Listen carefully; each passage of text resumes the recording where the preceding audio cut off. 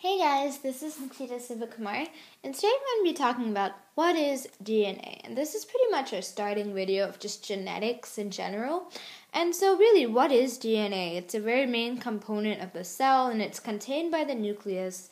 And so, you know, as usual, we're going to be ta- um, starting off with our dictionary basic definition of DNA. So, first of all, what does DNA stand for? It stands for deoxyribonucleic acid.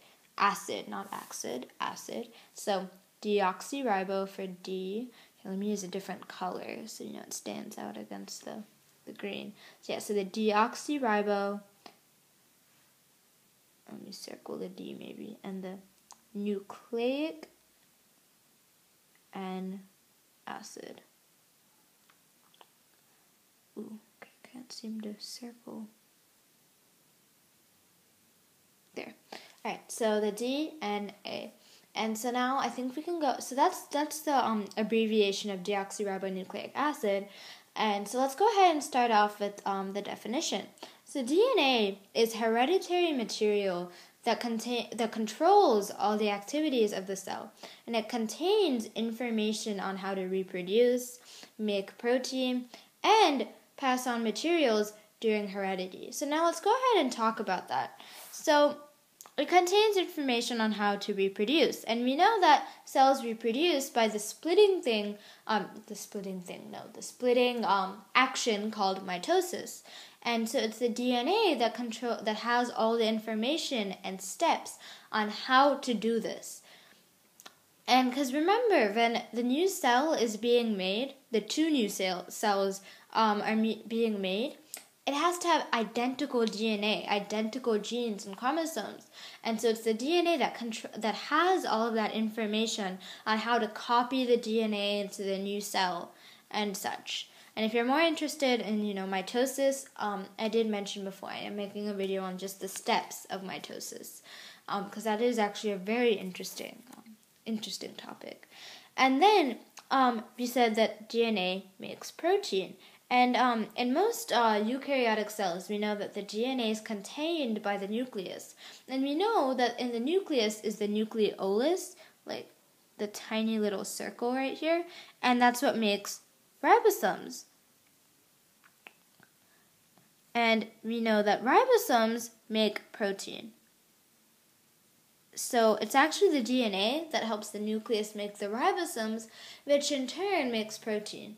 So that's kind of interesting how it's the DNA that started all of that. And then also deoxyribonucleic acid passes on materials during heredity. So you know there's a whole stage when you know when a body reproduces and so it's the DNA that passes on the different traits and genes to the new to the new baby or the new offspring. That's the that's the correct word. It's it's the DNA that has all the information on how to pass on um, materials, um, and really, I don't like that word. It should be more like traits or genes during hereditary. So it, it's what passes, you know, passes on traits from parents to offspring, and that's all from the DNA. So obviously, the DNA is really important. And um, so that's pretty much gonna be, what we're going to be discussing about in this whole topic of genetics. And everything has to do with what is in the DNA, and everything relates to DNA, which is our deoxyribonucleic acid. And so, also, um, I'd like to touch just another topic before we move on, and that is, I um, I remember telling you guys that prokaryotic cells have no nucleus. So, how do they function? Well, all cells, no matter what, still have DNA, and it's the DNA that controls all of these activities, and it's the DNA that makes the nucleus the brain. So, that means that the cell can still function without a nucleus if it has DNA. So that's um that's actually the answer of how prokaryotic cells function. They have DNA. Um so yeah, that's um so now what does DNA really look like? Well, it's like this squiggly like the spiral figure with these alternate these alternating lines and there's this whole topic of just the structure of DNA and the actual word for it is the double helix.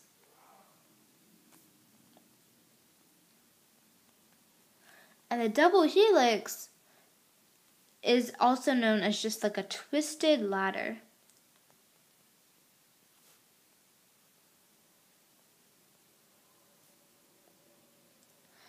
So it's like this like you know spiral the spirally ladder.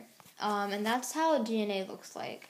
And um, so there's this whole topic of just what it what makes up DNA. What makes up these these tiny little alternating rungs of of the ladder and well what are these sides of the ladder is there you know and there are all these materials that make dna up and um, that's what we're going to be talking about in the next video. So hopefully this was helpful and you just have a you know a slight idea of what dna is.